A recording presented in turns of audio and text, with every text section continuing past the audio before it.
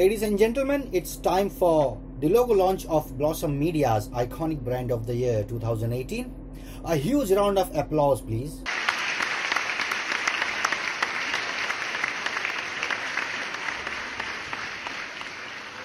Hi, I am Atul Modak. I am Vice President of Kohinoor Hospital.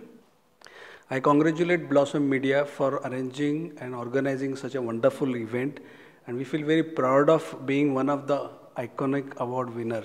Kohinoor Hospital being a multi-speciality tertiary care hospital is India's only hospital which is having both NABH and platinum rated LEED certification. We feel very proud and you know getting this award and we like to thank our jury for that and giving this appreciating Kohinoor Hospital for the work they are doing for the society. Thank you.